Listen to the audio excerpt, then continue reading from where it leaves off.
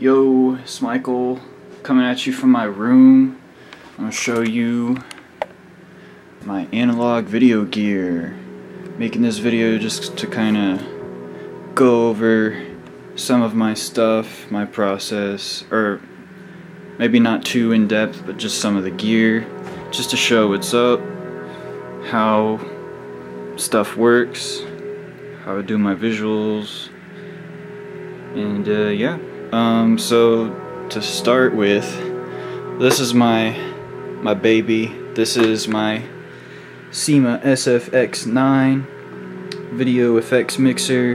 Got it from a teacher for free. He had it in his garage and didn't need it, so it's like my uh, my go-to kind of mixer, and I usually use it to to key um, between sources. I guess I really should start with my laptop because um, that's where I have a lot of my source content and stuff. Um, and the reason, well, you might be wondering how, if my stuff is um, all analog, how is it that my stuff can run through uh, my digital footage can run through my laptop? And that is using downscalers. If I can get the um, test card to disappear, there we go. um, so basically I just got like the HDMI output running through this little box video converter you can get these on Amazon um, and it goes straight to my gear I got uh, S-Video and composite going into uh, this circuit bent box uh, by coolpics.biz cool um, little company I got this from. And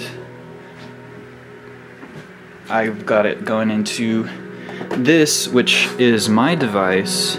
Some people think it's like a Tachyons Plus kind of deal but this is a, a video switcher that I circuit bent um, with just a bunch of knobs and stuff.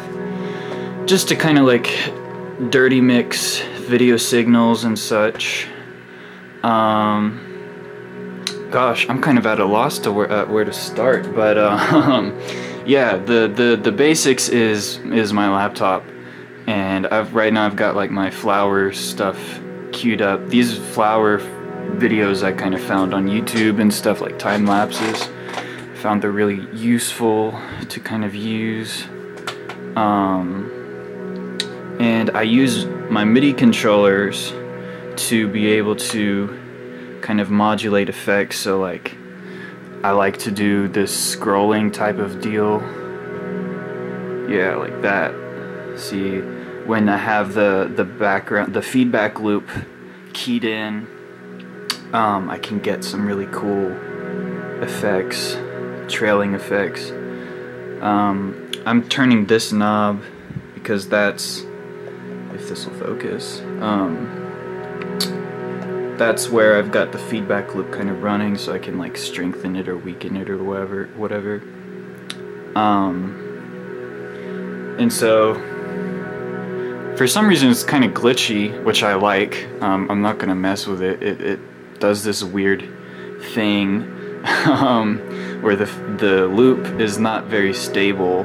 It looks even, uh, even cooler on my CRTs, like that.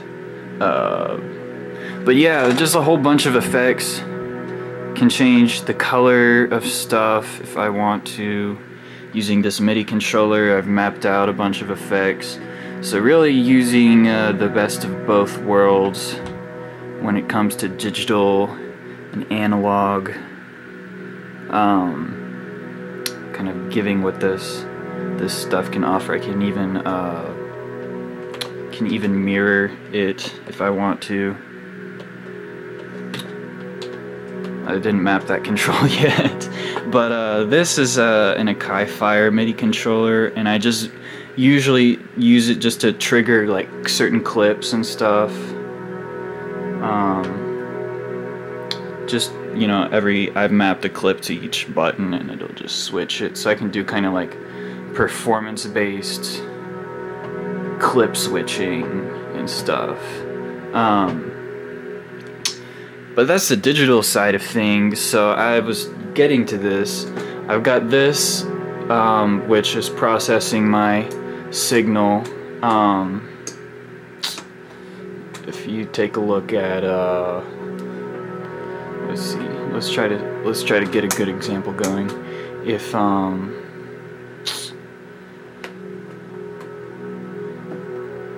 There you go. So there's there's this first knob here. There's 14 knobs on this.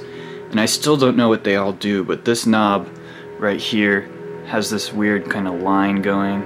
Um, and if I, you know, add other kinds of signals and yeah, it, it's it gets messy fast, but I, I, really like it. Um, it treats me well for my needs. Yeah, there we go. This uh, this device is called the Linearocitor. I think that's how it's pronounced. You can get it on coolpics.biz. Um, the guy who made it was really nice, at least through the email combo. Um, but this is like the signature effect that it does, is the lines, which are really cool. Um, yeah, a lot to explore there. Maybe I'll go in depth later. Um, but in order to support all of those uh, glitchy effects, you need a mixer to uh, kind of stabilize them, and this is what this does. This is a really good time-based corrector built inside. Um, and this this I uh, use kind of just to mix between the clean and dirty versions of this of my um, laptop signal. Just so I can have a little bit more control over how strong the glitches are from this box. Um, and also I have it where it's like a feedback loop too. So some cool glitches right there if used tastefully it can like easily go seizure mode Um, these are just like in these these knobs like invert the S video pins and stuff. Um, I even have, let's see if I have it connected. So I, I, also have the feedback loop from this mixer running through it.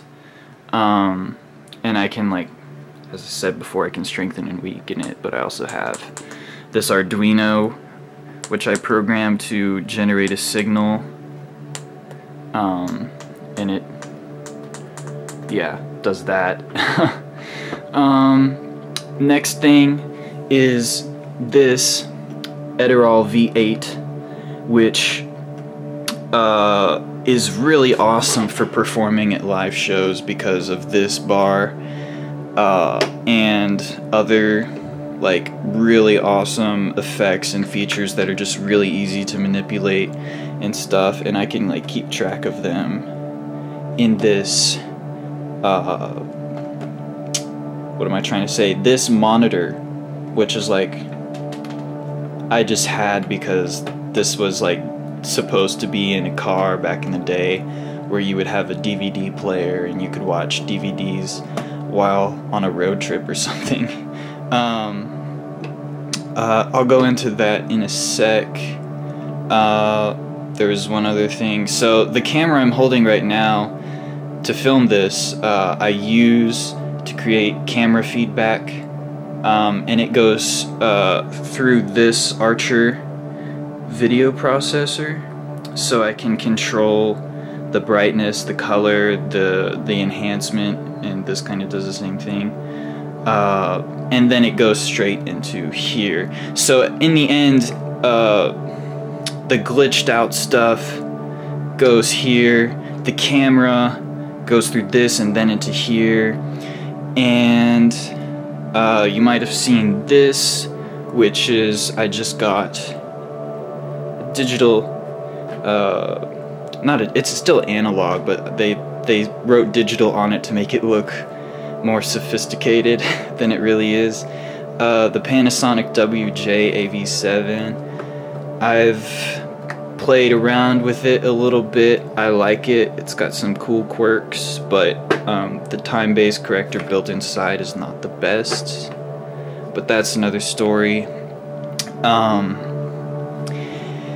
so, I guess I can't really show you the rest of what's going on without using this actual camera, but I might as well kind of demonstrate some of the effects I'm able to pull off. Um, there's one more thing, actually. Uh, this is my uh, kind of my fine-tuning processor. Uh, it's the last thing that goes um, before the projector and these TVs. Uh, it's kind of like, kind of like you know, a guitarist has a has a specific amp or like e equalizer just to um, kind of fine tune the tone that they want to get it just right. This is exactly what this this kind of does for my um, video, and so I can increase the color and um, the sharpness, of course, resolution. Can even increase like certain aspects of the video strength with these knobs. And the best thing I like about it is the the depth or the the black restore because without it um without it it gets like really washed out grays um which is common in analog. So like if I turn it off and then maybe show you uh what it looks like when it's just a black screen so you can see there's kind of like a, a uh, gray, but when I turn this switch, it kind of takes care of that um, that grayness, and so it really kind of gives a high contrast. Not even a high contrast, just like resets the baseline uh, black level, which is really awesome. So I move to the other side this is a thing I circuit bent. I don't use it too often. Not in this setup at least. Um, so out of this go uh, the CRT signal, the projector signal. Um, no, this is the input from my Edirol. These are all the fancy ports and connectors and stuff.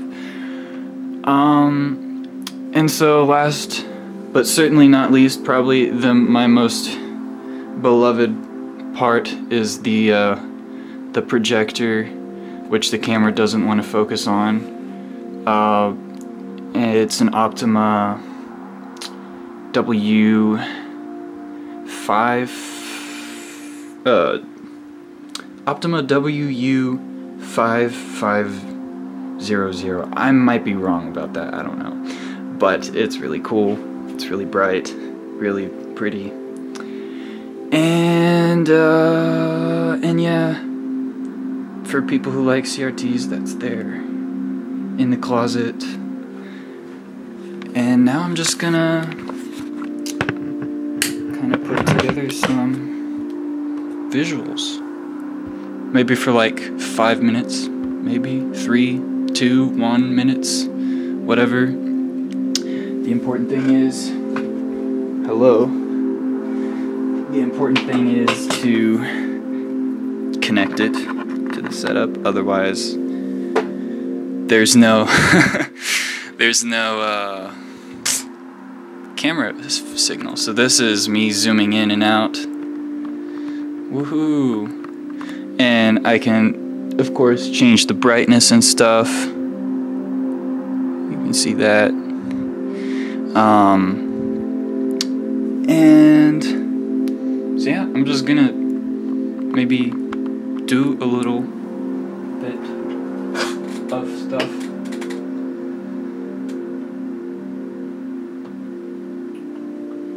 Let's see, is it zoomed in well? I might even turn off the light.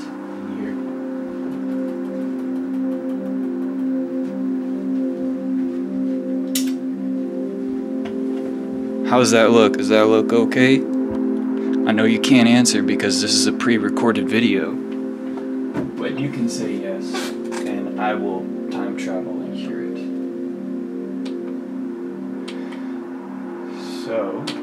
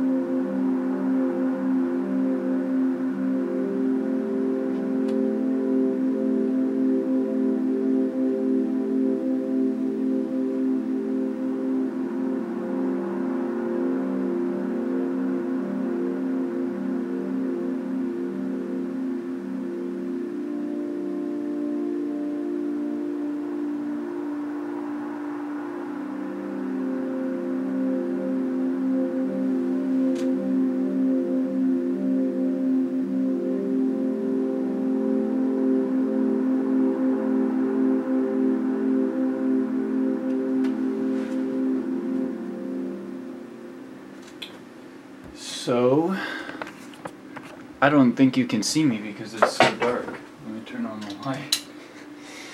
That was uh, my rig rundown and all my friends. Alright, thanks for watching. Hope you found this interesting. And uh, hashtag healthy at home. Hashtag we're in this together. Hashtag quarantine sucks, but it's necessary. Hashtag patriot or whatever. Um, peace.